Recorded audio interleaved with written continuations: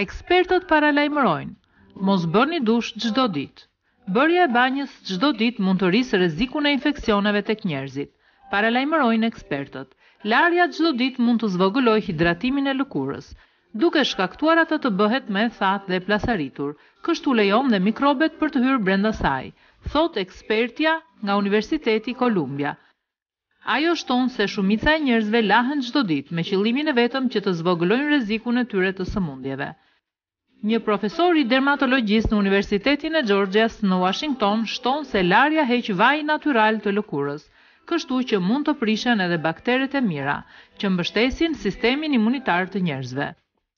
Sipas tij, banja vetëm një herë në javë ose dy herë në javë zakonisht është e mjaftueshme për shumicën, duke shtuar një dush ditor nuk është i nevojshëm.